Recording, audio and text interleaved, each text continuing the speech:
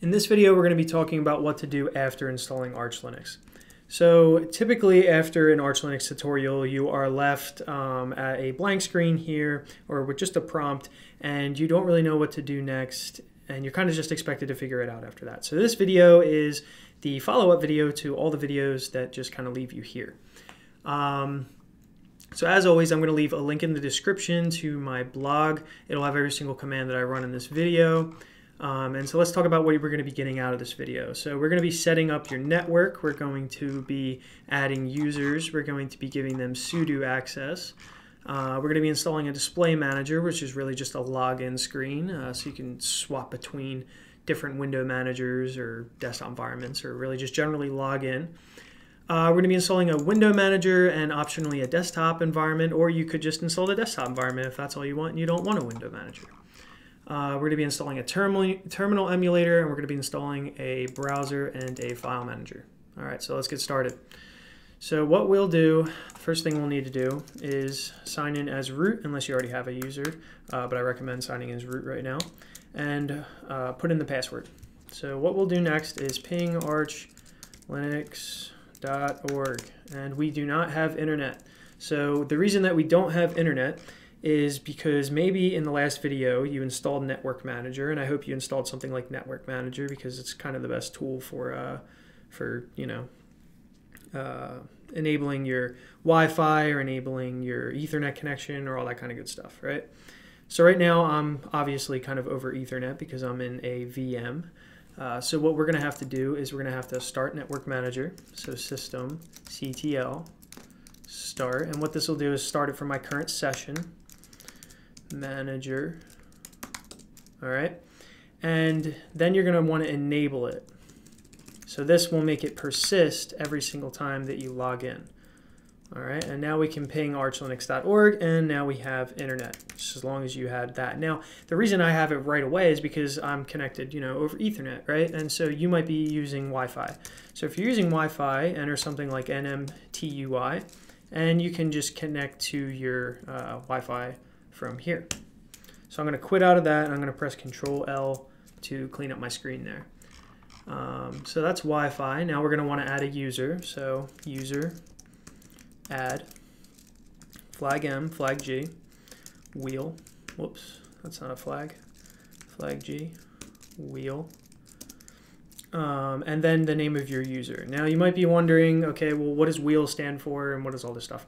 So we're going to be adding a user, the G stands for group, and we're going to be adding them to the wheel group. The wheel group is what essentially gives you access to sudo, right? So we're going to press enter and we're going to add Chris to that group. After that, we're going to give Chris a password. All right, one, two, three, four, one, two, three, four, and there we go. So if you wanted to, you could switch users and you can use SU to switch users to the user that you're on. I recommend not doing that right now. I recommend just staying as root. So the next thing we're going to want to do is make sure that you have VI installed. And then what we'll do is VI sudo, right? So to install VI, and I'm not going to be installing any packages in this video because uh, I want to focus on configuration all that stuff. So every single time that you need to install something, you can pause the video and then catch back up. Um, so what you'll want to do is pacman flag s vi if you don't already have it. And it doesn't ship with vi anymore, so you may not already have it. So we're going to enter vi sudo, and then what I'm going to do here is I'm actually going to enable uh, some keys here so you can kind of see what I'm pressing. So to move around, you're going to want to use H, J, K, and L, or you could use the arrow keys if you really wanted to. And so what I'm going to use is these. You can press J to go down and K to go up or we could press the search key here and look for wheel. So that's the forward slash, and then I typed wheel, and then I'm going to type enter. That's going to take me to the first instance of wheel. Then I'm going to press N.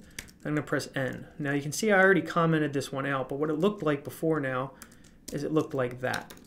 So they were both commented out, and we want to choose which wheel group we want to use. Now this wheel group, every single time you press, or every single time you try to sudo do something, right, uh, super user do, right, you're to need to enter your password. Um, if you comment this one out, or uncomment this one, uh, it won't prompt you for a password. So I like that. Um, if you have security concerns about that, or if, you know, for whatever reason you like typing in your password all the time, you can comment out the first one. And there's other things you can do in this file, but this is the stuff that I think you're probably most interested in doing right now. All right, so now we can probably get rid of this. And that's probably one of the most difficult things we're going to have to do all video. Um, if you messed up with your user earlier, uh, you could user, like if you put in the wrong, you know, the wrong name or you decide you want to change it or something like that, you could do something like this, user del flag R, and that'll recursively remove uh, the Chris user here or whatever user you have. And if you want to figure out how to use some of the other ones, you can type man and then the command, and then it'll kind of give you more options for things you can do with them. Now you're going to want to pause the video and install Xorg server and Xorg init, X init. That's essentially going to give you access to, you know, like your X display and all that kind of good stuff. And that's just displaying uh, really anything, a desktop environment or a window manager. The next thing you're going to want to do is install a login screen. So also, you know, pause the video Install LightDM.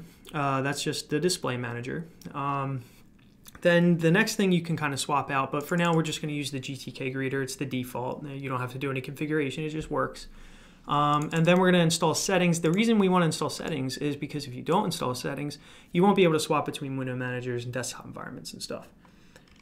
All right, so we got that now. The next thing we're going to want to do is just like we enabled the um, network manager service, we're going to want a system CTL enable light DM. All right, and now we created that symlink, so we know that that worked. We don't want to start it because uh, it's a login screen, right? So we're not going to be going back to that until we reboot, so we'll just enable it. Now you're going to want to do system CTL list unit uh, files. Now, the reason we're doing this is because we want to make sure that the stuff is actually um, enabled, or we kind of want to know what's happening when we do this, right? And so this is a good command to find out like, okay, well, what's enabled? So you can see that LightDM is enabled and you can see that Network Manager is enabled. So if you're noticing that your Network Manager is not working or LightDM is not working, which is our login screen, right? That's most likely because it's not enabled here. And if it says disabled, well, then you know what your problem is, right? Okay, so moving on. If you want to install a window manager, window managers are um, very lightweight and they're, you know, this that's what this is. If you're looking around here, it's kind of how you can do, um, if we go over here, you can do all kinds of weird stuff like that, right? And I'll go into future videos of how to like set all that kind of stuff up. Um, so you can install this or you can install a desktop environment. If you install, if you want a very minimal install, you know, just go with the window manager. If you don't want to deal with all of the extra work that it takes to configure a window manager, go with the desktop environment. Um, you can use something like XFCE, that's a pretty lightweight one. KDE and GNOME are options out there. Um, I use i3 because I've been using i3 since I kind of, I don't know, like it's just the first one I ever started with, right? Um, there's other options out there. I know people are pretty passionate about this, right? So if you really like DWM, install DWM. If you really like Awesome, uh, DWM is like all done in C, so you know there's the benefit of that, I guess. It's got the whole patch system. Awesome is, uh, I think it's all configured in like Lua, which is pretty cool. Um, BSP, BSPWM, I hear is you know a lot of people are jumping over to that, and then Xmonad is essentially like DWM if it was written in Haskell. So yeah, these are other options. There's way more than even this, uh, but you could, you know, just install these instead of this. It would be fine. Uh, so the next thing that we're going to do is after installing these, choose whatever you want. Then we're going to install a terminal emulator. So, you know, just I'm going to use Alacritty because that's what I'm used to, and that's what you see uh, over here is Alacritty. But they really all look the same once you strip away a lot of the stuff, right? Um, you can install ST, which is like a suckless terminal. Um, you can install RxVT Unicode. I know that one's pretty popular. Termite Terminator. There's GNOME Terminal. There's XFCE Terminal. I think we get that installed by default with this. Um, but yeah, so you know, install whatever you like. This is the one that I have installed. Uh, then we're going to install Firefox and Nautilus. Uh, you can install Chromium too. I think. I think that's in the in the repositories before we actually do stuff with the AUR in the future. And then there's Nautilus, um, which is just going to be a file manager, so nothing special. So really, what do we do? We just installed like a bunch of junk. We enabled two services. And that was all we had to do. There's really nothing left to do after that. So we're going to reboot now. And that's going to bring us to our new login screen. So our new login screen um, will look something like this here. And so let me actually go like this. So this is our new login screen. Um, and you might be saying to yourself, well, this is XFCE, but it's not. This is XFCE because we installed XFCE, so it kind of automatically did a few things, and this is what I meant about desktop environments doing a little extra stuff. But if you click up here, you can choose what you want to kind of go into, right? So we, we can choose i3 or XFCE. Or if you installed Awesome, you could have you could have Awesome up here and DWM and whatever else you want. You can have everything if you want it. I don't recommend installing a ton of stuff, but you know, if you want to play around with window manager, something like that, that's they generally don't intersect too much. So what we're going to do is we're going to jump into the i3 session because I think, you know, most people know how regular desktop environments work. So most people are probably here for i3 anyway. All right, so let's do one, two, three, four. All right. Now what it's telling me is that I have not yet configured i3. So uh, that's because I don't have a config file for it. And I'll show you where that is in a second. Uh, so I'm going to press enter and let it generate it for me. And I'm going to say that the window key or the win key uh, is going to be my super key. So, and you'll see why the super key is important in a minute. Um, also in the beginning, you might have saw uh, that we installed nm applet. That's what this little guy down here is. So if you look very in the very beginning of the blog, uh, you'll see nm or network manager applet. That's what this guy is. You can like swap between things or add a VPN, whatever. Um, all right, so tiling window managers, right? So what you're getting out of this is if I just press super enter and it opens up a terminal. If I press super enter, it opens up another one and another one, right? Um, so if you press, uh, and you know what I really should do is, let's, uh, I don't know if we can get out of this. It's super easy, there we go. So what I really should do is do something like that. So now whenever I am in here, hopefully, yeah, this stuff shows up. Okay, good. So what I'm going to do is super shift Q, super shift Q, super shift Q, and that gets rid of the, uh, the tiling terminals and all that kind of stuff, right? If I press super D, I'm going to open up D menu up here at the top. So let's say I wanted to open Firefox, which we installed. Okay, now I got Firefox open. And I should have internet with any luck, so I don't know if you want to like search Arch Linux. Yeah, well, this is already showing me that I have internet, right? Uh, there you go. We already have internet. It's fast. It's good. There's no problems, right? So now we'll get out of this. It's telling me I'm going to close tabs. Sure. You might notice some of that flickering and stuff too, and we'll fix that in the future too with a uh, uh, compositor or something like that. There's something out there called picom. You can look into it. I have some configs on my GitHub about it. So what we'll do is we'll press super enter again and open up a terminal. So if you want to start, you know, adding configurations to this or using somebody else's configurations, you might want to go into .config and then ls in there. You should see something for XFCE for it because we have that installed. Pulse is your audio and i3 is what we're in now. So we'll do cd i3, all right, and then we will open uh, config. Okay, so this is your i3 config, and it's probably nothing, you know, it's a little unreadable at first. Not super unreadable, I guess. Um, but this is basically it. And it kind of tells you what all of your commands do and all that kind of good stuff. Now, I wouldn't spend too much time trying to do this all from scratch.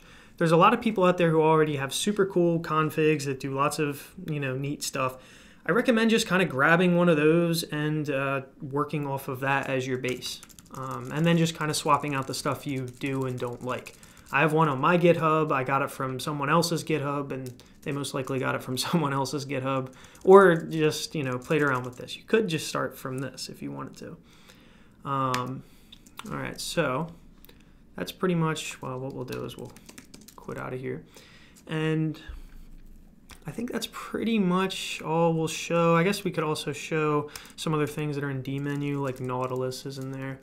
That's our file manager. I don't know if I already brought that up, but yeah. So we have this. So it's like, you know, something familiar. Um, and then, yeah, I think that's that's pretty much it. So we, it's been probably around 10, 15 minutes, and we have all of it set up. It wasn't that hard to just get started. Uh, from here, you can kind of go wild, install a bunch of different stuff. You can see that little bar at the bottom. Uh, typically, people swap that out for Polybar. You can swap out dmenu for something like RoFi. You can swap out all kinds of weird stuff in your window manager. Um, and you also have the option to go to XFCE4 too, if you wanted to.